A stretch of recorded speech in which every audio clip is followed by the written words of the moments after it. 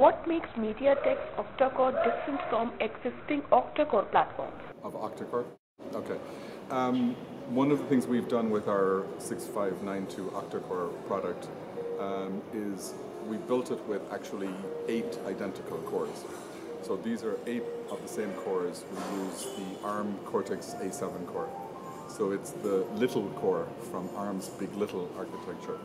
Um, so it's a really a, a, small, very power efficient uh, core. Um, other implementations that have been released with octa-core have gone for four big plus four little. Um, so it's a slightly different architecture. Um, and as well as that, um, other people's implementation of octa-core today have really focused on running either the four big cores or the four little cores. Mm -hmm. What we've done with the 6592 is, as I said, we've put eight identical cores. We've also then built a software scheduler or an application manager that runs on top of that that allows the use of one, two, three, four, all the way up to eight any number of cores that you want. So depending on the load, you can have more cores running or less cores running. What benefits does the octa-core chipset bring for the customer?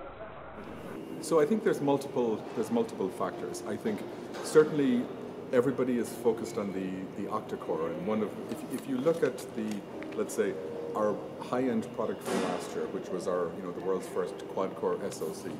Now, less than a year later, we're introducing our octa-core family. So there's really a couple of things. One, we go from four cores to eight cores. We also run the cores from 1.3 gigahertz. Now we offer up to two gigahertz. So when you combine the number of cores and the frequency, we obviously give people a lot more computing capability. So that can be used for multiple things. Like I said, gaming, multimedia, some advanced applications. It can be used to even speed up existing applications because the cores are faster. But beyond that, the product that we announced, the 6592, we've also enhanced a lot of other aspects of the product. So the graphics core has gone from single or dual core graphics. Now we offer a quad core graphics engine. So the GPU performance also goes up. We've also enhanced the multimedia capability.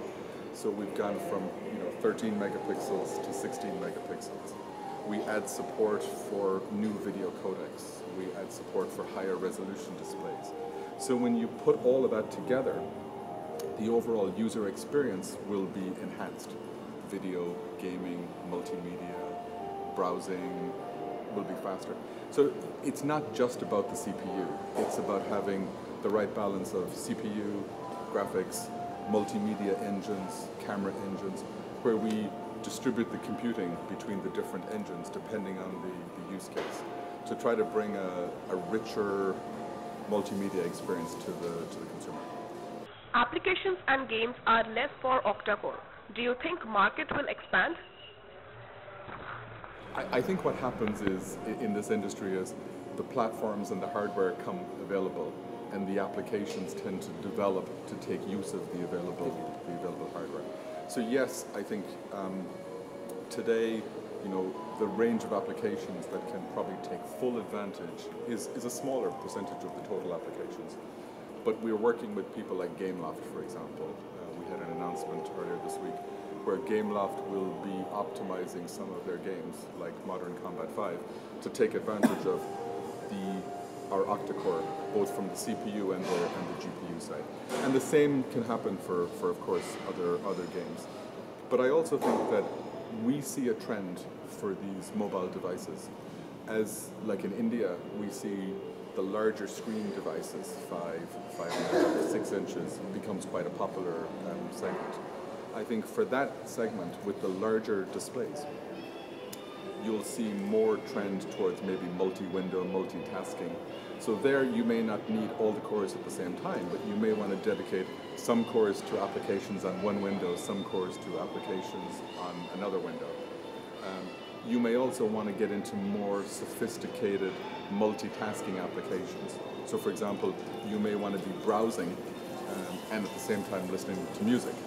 I think from a user experience, it may be better to run the browser application on two cores or four cores, depending on how heavy it is, but maybe have the base Android software running on another and the music running on another core. So the applications all have their own dedicated resources. They don't overlap, they don't interfere with each other. So the overall multitasking aspects will become more enhanced as, as things go forward. And I think this is going to be the natural direction for these smart mobile devices, whether it's on smartphones, tablets or, or tablets. 6592 also features MediaTek Clear Motion technology. What does this mean for the end customers? Okay, so Clear Motion is a name we, we give to a new technology we're introducing with the octa-core. And this is um, a technology we bring from, so MediaTek has a, a very strong capability, a very strong business and a, a leading technology in the home entertainment space for TVs, for DVD, for connected uh, home appliance, home devices. ClearMotion is a technology that takes video at 30 frames per second or 24 frames per second. And in hardware, in our new SoC, we interpolate that video up to 60 frames per second. We don't repeat frames, we actually generate new video frames. So you get 60 frames per second of unique frames for the video. So when that's displayed on the screen or when it's played back to the consumer, they get real 60 frames per second output. So the motion is smoother. You see less jerking in the in the video output. Better performance often means a drain on a battery, which is a major drawback in several smartphones today. How are you addressing this? It's fair. It's a fair concern. Um, for sure, obviously, in applications that are very demanding, where you turn on all the cores, mm. of course the power consumption goes up. But again, one of the things we've done with our octa-core is chosen deliberately to use the Cortex-A7, which is a very power efficient core. So even when you turn on all eight cores, the power does not go like too crazy. Um, and again, it's, it's, it's trying to balance the performance and the power consumption of a limited battery in something like a, a smart. How would the launch of this octa-core mobile platform impact the Indian handset market? So it's, it's very exciting. The, the Indian market is now the third largest market for smartphones worldwide. So after the US, after China, uh, which have, you know, over the last couple of years, the US market has seen a lot of growth in smartphones. The last two years, the China market has seen a lot of growth in smartphones you know, both of those markets continue to be large, but maybe not growing as quickly as in the past, right? The India market has suddenly become, not suddenly, but recently become the third largest smartphone market, and we see significant growth opportunities for smartphones in India. It's, it's obviously a large market. Um, it's obviously a market that is still growing in mobile, so not just smartphones, but feature phones continue to, to grow in the market. But there's also a significant transition from feature phones to smartphones happening. And what's exciting, I think, as well, is in the Indian market, the local brands, the Indian brands, have become very strong and much stronger and take a larger share of the market. So we're very fortunate to work with a lot of partners in India who are the local brands in, in India. What's next? I mean, obviously you are leading with a true octa-core. What's next? So what's next? Um, I think you'll see um, multiple things, right? So I think the the market is expanding in all directions. Um, for sure, you will see MediaTek coming next year with solutions for 4G LTE. So that's going to be an important uh, thing we have to we have to deliver next year. You know, I think LTE has obviously become a big market in some countries, US for example. but I think next year and into 2015 is probably where it will become a much more sizable segment for India, for China, for, for other big markets. It will be in India or somewhere else, or in US? Um, I think the, the US market is, is, is today a very premium, a, a lot of the, the market is a very premium market. We are starting to ship products to customers in the US market, but it's a smaller part of our overall market today, but one we will, we will continue to focus on.